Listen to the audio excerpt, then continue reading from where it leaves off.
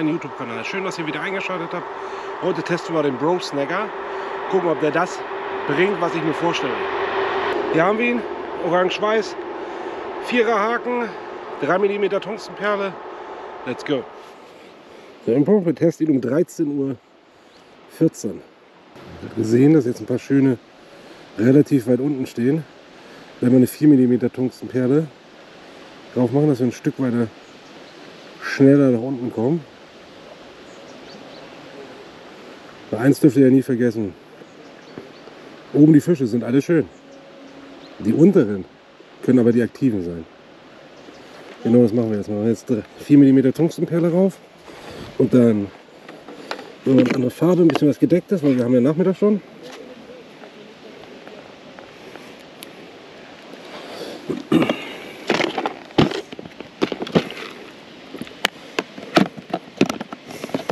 Wir einen großen Haken und eine Vier.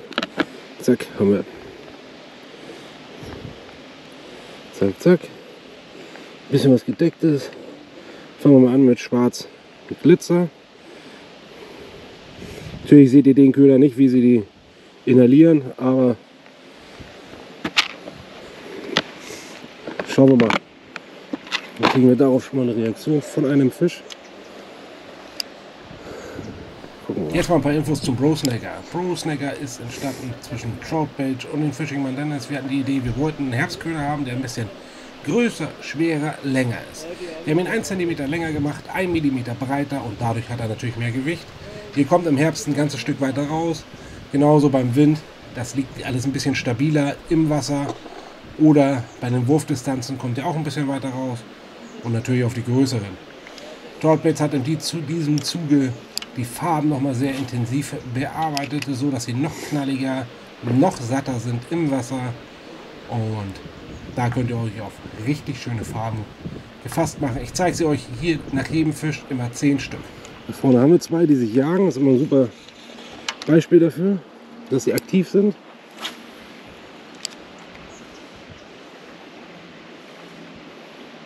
Die eine schießt. Oh.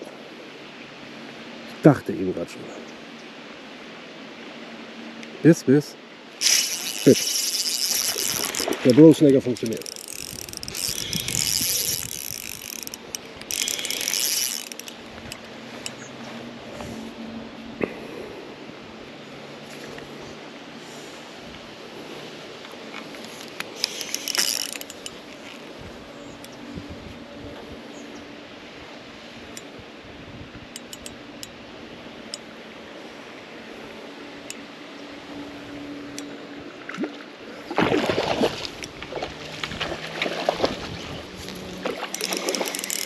Schön langsam geführt. Das läuft.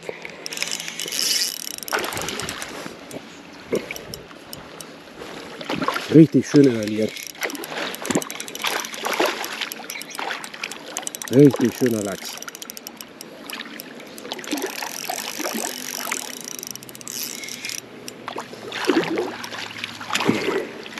Haben wir die ersten drei eingetütet.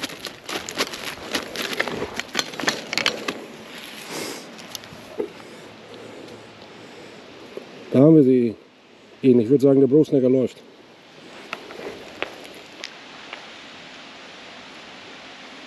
Haben wir nochmal einen schönen Lachs. Brosnacker schwarz-gold. Schauen wir mal, ob wir noch eine kriegen. Als erste Farbe haben wir natürlich schwarz-gold. Super für klare Gewässer. Genauso wie den klar mit blauem Glitzer. Auch empfehlen für klare Gewässer. Hier haben wir grün-weiß, Standardfarbe. Wir haben ein dreckiges Orange gemacht mit schwarzen Glitzeranteil drin, einen gelb-weißen, einen goldweißen natürlich wieder, auch sehr schön. Ein 9 jetzt hier, grün-gelb mit schwarzem Glitzer. Natürlich der Bronze Star darf dabei nicht fehlen. Dann haben wir Bernstein wieder dabei mit schwarzem Glitzer drin. Und natürlich Glow jetzt für die Herbstzeit, wo ihr vielleicht im Dunkeln anfangt, ihn anleuchtet und damit Fische fangen. Bin dann zum Ende der Bärenkuhle hingegangen, weil dort eigentlich immer die Saiblinge standen, die natürlich ein bisschen kleiner sind. Und genau darauf wollte ich den Blue Snagger auch ausprobieren, ob die kleinen auch diesen großen 75 mm großen Köder nehmen. Und Das Ganze schauen wir uns jetzt einmal an. Ich habe natürlich meine ganzen Angelsachen bis dahin genommen, so dass der andere Platz frei bleibt für andere Angler. Das ist immer nur fair, wenn man anfängt, sowas zu machen.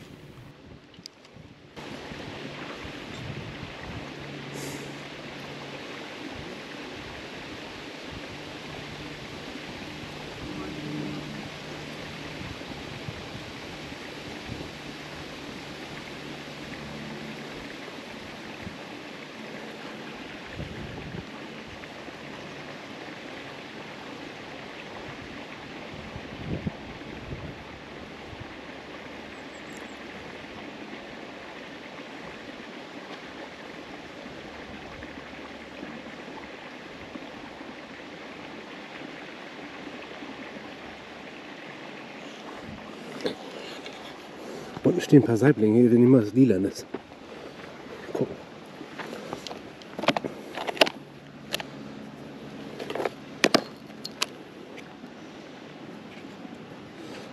Rotgelb. Letztes Mal auch gut funktioniert an der Bärenkuhle. Auf die Saiblinge. Schauen wir mal.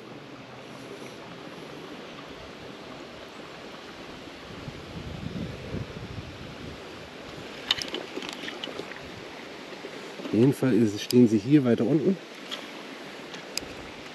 Also rauswerfen, absinken lassen. Ich weiß, wir haben Sommer. Aber manchmal ist das so. Köder seht ihr natürlich perfekt.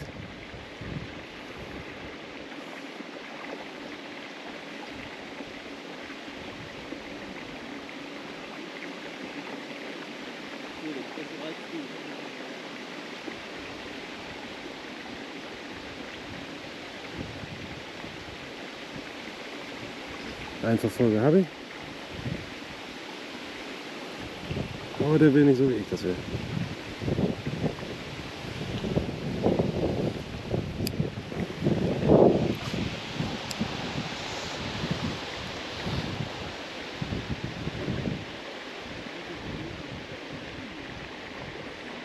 Kommen richtig hoch, gucken sich den Köder an und gehen wieder ab.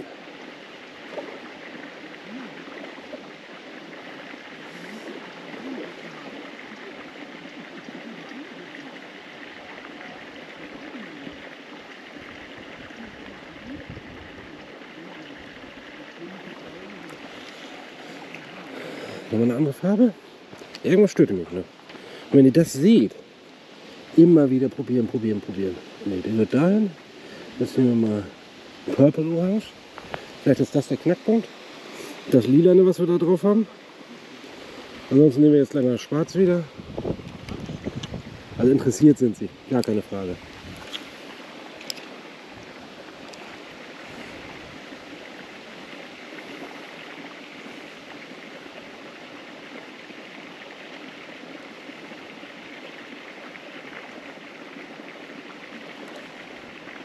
War der erste.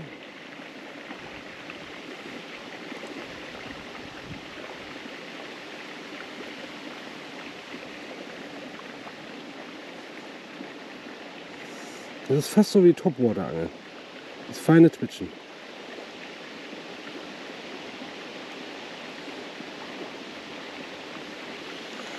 Kommen hinterher, gucken sich das Ding an.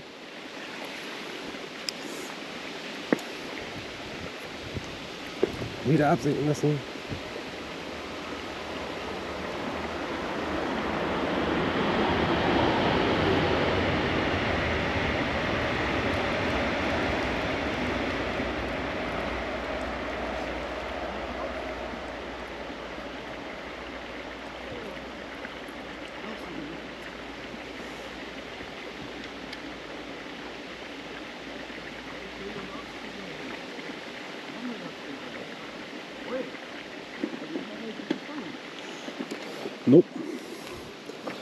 Denke, dass es eine sehr dunkle Farbe ist heute.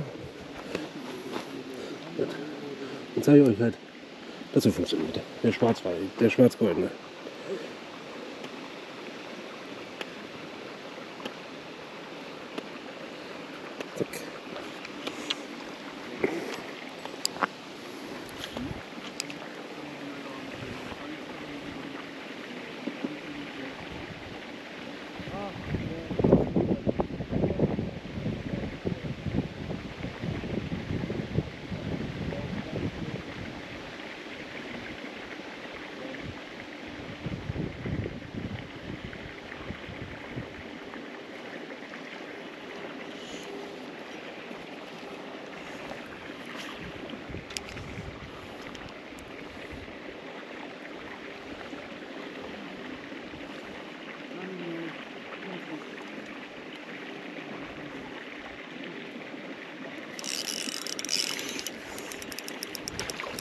Ich habe ihn langsam in der Anfangsphase genommen. Kleiner, schöner Saibling.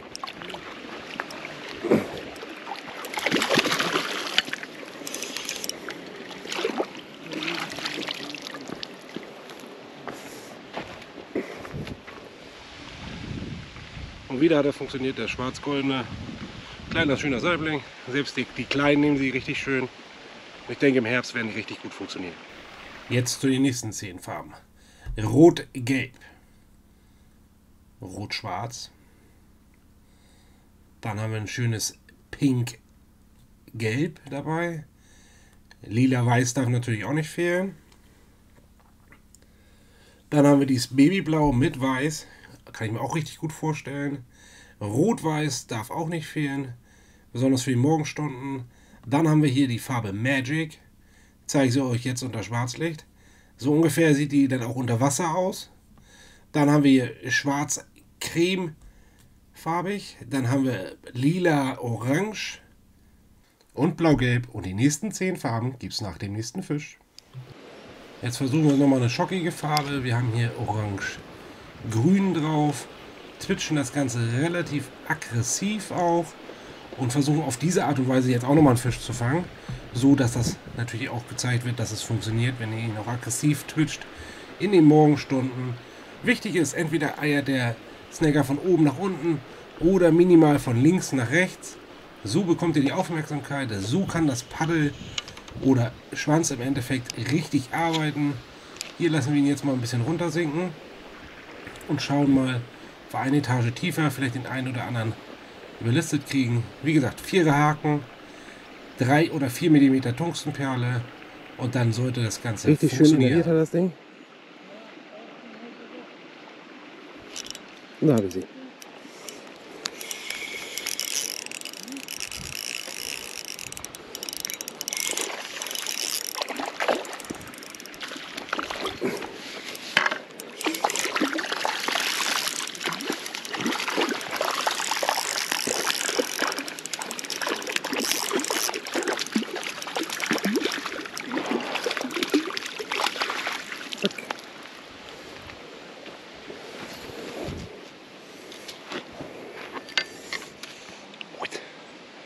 Da haben wir den Übeltäter. Und nochmal einen kleinen süßen Saibling auf dem Bro Snagger, einen relativ großen. Das funktioniert genauso, wenn Sie Bock haben. Und die nächsten zehn Farben. Pink-Weiß. Orange-Gelb. Schwarz-Lila, Herbst. Babyblau, Orange, Morgenstunden. Da haben wir ein Orange-Weiß, auch Morgenstunden. Rosa-Weiß, auch sehr zu empfehlen. Der Green Hulk, richtig viel Glitzeranteil drin. Dann haben wir natürlich den Spezial, der darf nicht fehlen. Reines Lila für die Herbstzeit und den Saibling. Schwarz-Gelb, Aufmerksamkeit wieder. Und jetzt machen wir weiter mit dem Video und danach kommen die letzten 10. Die Morgenstunden können ihn richtig schön aktiv, auch mit grellen fischen. Das wird die Fische relativ wenig interessieren, aber umso später es wird, umso dunkler würde ich werden an Uferstelle. Natürlich habt ihr immer den einen oder anderen Fisch dabei, der sagt, okay, scheißegal, welche Farbe du drauf hast, ich hab Bock auf dich. Aber meistens ist es tatsächlich so, dass ihr mit den dunklen Farben am Nachmittag viel mehr fangt. Aber die Fische haben natürlich auch richtig viel schon gesehen. Ne? Das darf man nicht vergessen.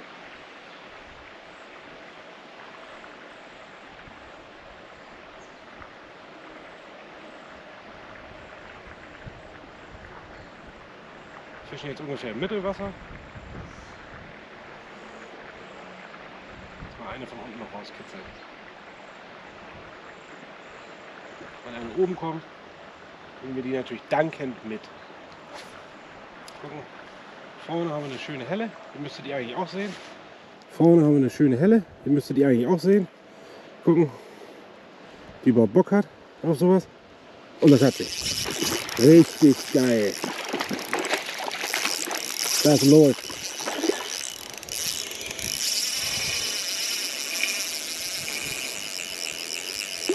Schön knapp an der Oberfläche geführt. Richtig schöner Lachs. Und dunkle Farbe.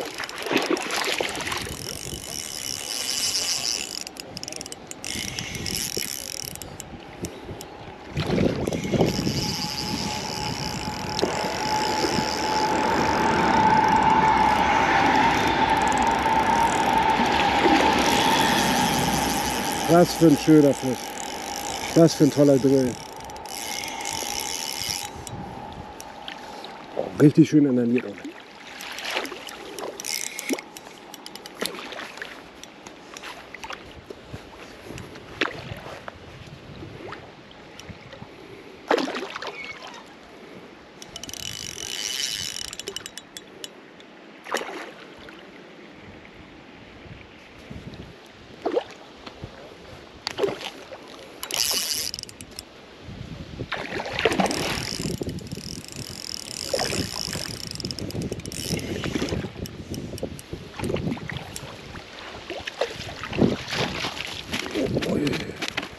Eieiei. Wie war das nochmal? Portionsforellen im Angelparadies Eschede, ne? Oder? Ist das ein schönes. Ist das ein schönes Tier. Durch den Snagger einmal durchgehämmert. Aber das ist mir vollkommen wumpe. Was soll ich sagen? Der Bro Snagger funktioniert einfach. Und jetzt gucken wir uns gleich die letzten 10 Farben an, inklusive der Starterbox natürlich. Hier haben wir Green Hike Schwarz. Dann haben wir Bernstein Weiß dabei.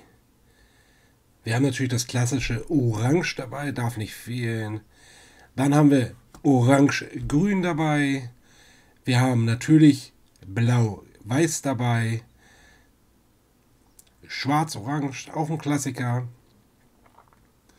Schwarz Gold für große richtig gut. Dann haben wir Orange Gold. Dann haben wir reines Gold. Als Bro Snacker natürlich. Und die Starterbox. Die darf nicht fehlen. Immer wenn ich in Eschede bin, passiert irgendwas Lustiges. Und das kommt jetzt. Was sagt der Snaggerman? Wie sieht's aus? Bestens. Löbt? Ja. Nice. Sehr gut. Kannst nicht mal in Ruhe angeln, ne? Sofort Autogramme geben. Ne? Teste. Der Shop muss ja auch leben, Also ne? ich, ich verkaufe Ich demnächst jetzt. auch Autogrammkarten von Dennis. Ja. Die habe ich leider noch nicht. 10 Euro das Stück. Nee, die gibst du sonst. Unbedingt eine haben will. Nee. Wir leben in einer materialistischen Gesellschaft. Auf jeden Fall. Schön, ja. So, Warum nachher? Aber der läuft immer, der Snagger. Den Bro Snagger bekommt ihr natürlich unter www.fishingman-dennis.de oder bei Troutbaits. Ansonsten würde ich mich natürlich über ein kostenloses Abo, Like, Kommentar über dieses Video natürlich sehr freuen. Ihr bekommt auch auf jeden Fall eine Antwort. Und jetzt gehen wir zu den Gewinnern des 4000 Abonnenten Spezials. Viel Spaß dabei. Die vier Donas, ZD1, MA08, KOTF und der Rush gehen an AVAC. Das Troutbaits-Paket geht an Patrick Breuer. Und die 8 Alfreds Clears gehen an Christian Kiesey. Alle drei Gewinner melden sich bitte bei mir per Instagram, Facebook oder per E-Mail über diesen Kanal, damit ich euch eure Gewinne zukommen lassen kann.